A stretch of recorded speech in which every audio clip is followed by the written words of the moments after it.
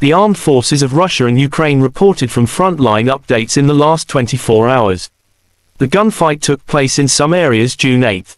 Russian forces, using loitering munitions, have eliminated a Ukrainian radar station of a German-made Iris-T air defense complex.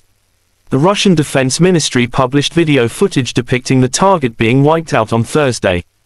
The UAV units of the airborne forces detected the position of an Iris-T SLM air defense system after which a strike with loitering munitions was delivered on the multifunctional radar station.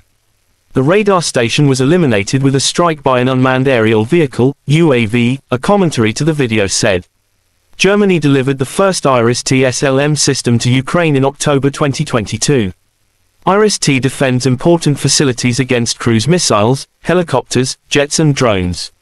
It includes the launcher, guidance system and fire controls.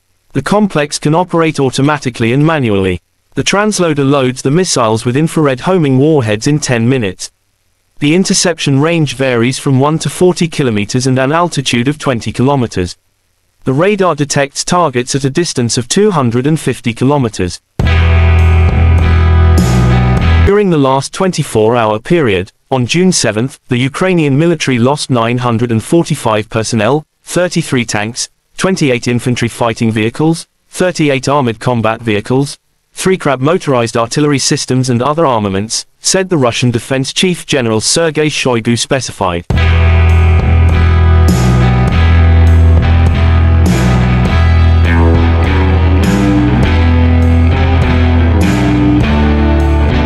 The other side, the armed forces of Ukraine in an official statement June 8 said Russia lost 730 servicemen in a single day.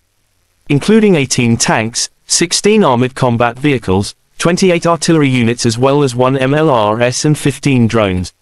In total, Moscow lost 212,760 servicemen since launching full-scale aggression into Ukrainian territories. President of Ukraine Volodymyr Zelensky acknowledged fiercest gunfight taking place in Donetsk Oblast.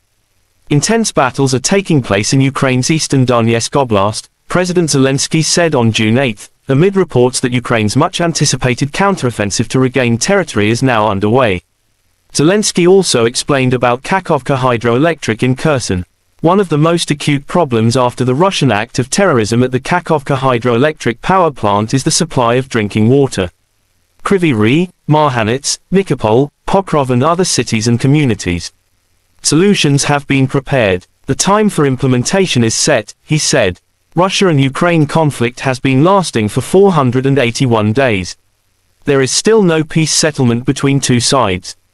Terima kasih sudah nonton. Jangan lupa like, subscribe, dan share ya.